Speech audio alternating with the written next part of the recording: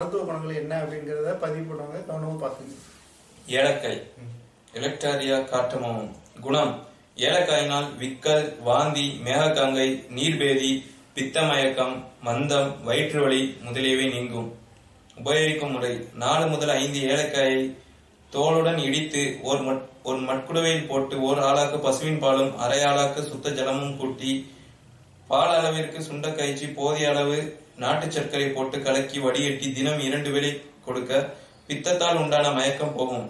ஏலக்காய் வித்தை முளைப்பால் விட்டு அரைத்து முளைப்பாலில் கலக்கி ஒரு சீலையில் நனைத்து நெற்றின் பேரில் போட்டு உலர உலர மிகுதியுள்ள பாலை தடவி கொண்டு வர தலைவலி நீங்கும். ஏலக்காய் வித்து சுக்கு கிராம்பு சீரகம் சமையடையாக இடித்து சூரணம் செய்து வைத்துக் கொண்டு வேலைக்கு அறவிராகநடை வீதம் தினம் மூன்று வேளை தேனில் கொடுக்க வயிற்று வலி வயிற்று பிசம் அஜீரணம் முதலியவை குணமாகும். ஏலரசி சோம்பு சீரகம் இம்மூன்றையும் சமையடையாக பொன்மேனியாக வறுத்து இடித்து சூரணம் செய்து வேலைக்கு ஒரு விராகநடை வீதம் தினம் இருவேளை வெந்நீரில் போட்டுக் கொடுக்க அஜீரணத்தை போக்கும். இத்தகைய வீட்டு வைத்தியங்கள் மட்டுமின்றி இதனுடன் இதர சரக்குகளை கூட்டி பண்டிதர்கள் சூரணம் வடகம் முதலியவர்களை செய்து கொடுப்பதும் உண்டு.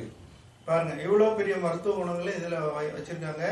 அதனால ஏலக்காயை வந்து நம்ம பயன்படுத்துறது வந்து நம்ம உடம்பு ஆரோக்கியத்துக்கு நல்லது. அதனால இதை வந்து கவனமாக பயன்படுத்துங்க. ஏலக்காயில பல